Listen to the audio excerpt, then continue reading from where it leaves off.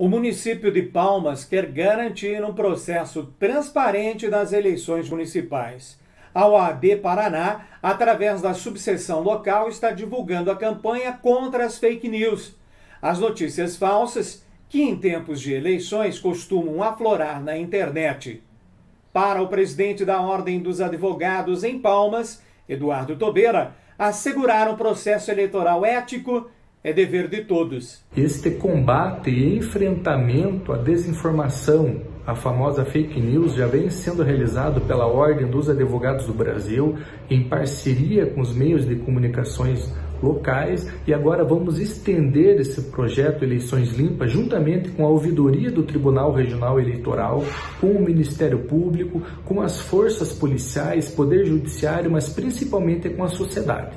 Vamos continuar a orientar a população a identificar as notícias falsas, mas principalmente a incentivar as denúncias para o Tribunal Regional Eleitoral, para o Ministério Público, para que a gente possa identificar esses criminosos. Essas facções criminosas que tentam atrapalhar o pleito eleitoral, o processo democrático eleitoral, estão enganadas quanto ao seu anonimato. Muitos deles utilizam-se de perfis falsos, de números de WhatsApp de outros países, pensam que ficarão impunes. Mas não, hoje a Polícia Federal, o Ministério Público, a Justiça Eleitoral possui de tecnologias suficientes para identificá-los e os mesmos poderão ser penalizados com pena de prisão de dois meses a um ano, com multas e também outros processos indenizatórios. Hoje a população precisa de projetos de melhorias para a comunidade e para suas cidades e não mais de notícias falsas corriqueiras. A campanha contra as fake news é também uma das bandeiras do Tribunal Regional Eleitoral no Paraná. Para isso, foi criado o projeto Gralha Confere, para combater as notícias falsas. Muito importante que o eleitor, ao fazer a escolha do seu voto, que ele faça com base em informações verdadeiras. E a melhor arma do eleitor para combater as informações falsas, a má informação ou a desinformação, é que ele faça a checagem das informações recebidas e que lhe pareçam duvidosas ou mentirosas. Então, a checagem é a melhor arma do eleitor contra a fake news.